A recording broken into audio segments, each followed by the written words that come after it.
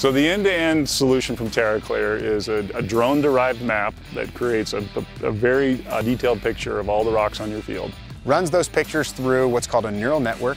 That neural network then tells you every location where there is a rock. Rock sizes, rock trajectories, everything that's happening relative to the motion of the picker. We need to leverage AI to be able to take care of that step for us.